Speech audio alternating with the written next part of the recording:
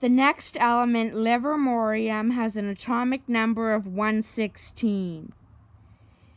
It is sort of on an island of stability, but and then 114 is also on an island of stability. We'll be getting to that one soon. Also 107, but after that, it's not not really that many more. And what we will be doing today is we will talk about more of livermorium and I'm also going to do a brief thing about islands of stability. So it might be a bit longer than the first two because this is the heaviest element that is on an island of stability.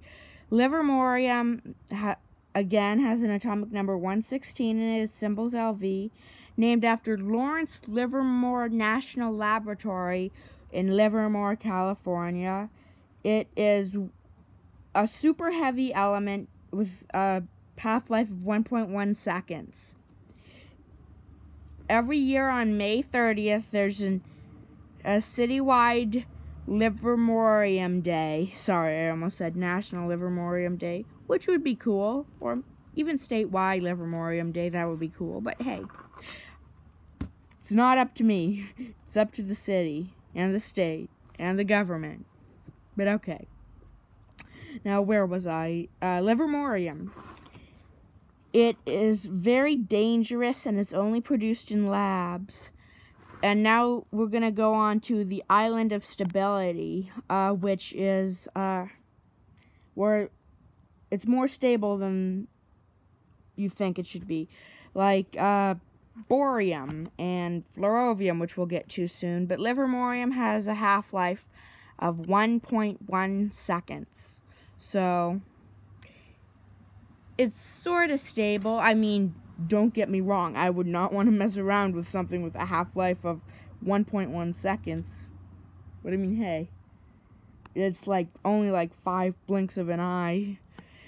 So, I wouldn't want to mess around with it. But it's way more stable than uh, Moscovium, Tennessine, and Oganesson. And I'm thinking about how. How was Livermorium created? Well, the main answer is californium and argon. Yes, they used argon. I mean, that's what I'm thinking would be the best way to create more livermorium. Of course, we're going to need to get some argon, but and hmm and create californium, but hey, it's not up to me. Also about livermorium, important about livermorium and an island of stability is they're very few and far between, except for the one livermorium is by. There's two pairs of ones where they're near. Uranium and plutonium, and flerovium and livermorium. The rest are few and far between. One sec, we've got an airplane. Sorry. And it's important to recognize that livermorium, it's super dense. It may be the densest known element, comparable to meitnerium and osmium and iridium. But we have, we don't know for sure, just we know lead is one of the densest elements. I mean, polonium, well, yeah, but polonium is also really dense, the element above it. And, uh, just, it's in group, it's in group 16, sorry, uh, and in row 7, or period 7 depending on how you want to look at it. It can also be called col column 17. So sorry.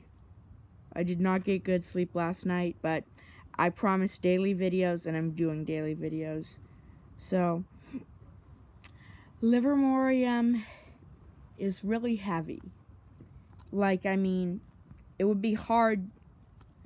Let's say you have, um, one gallon of liquid livermorium now let's say, pretend it can't kill you, pretend it's not radioactive, pretend it's safe. It would be really hard to hold up. I am not going to say I have tried this before because I haven't, and I'm not going to be able to show a sample of Livermorium because I'm I want to still be alive, and I don't have any. And it's it's useless, but it's an element discovered in 2002.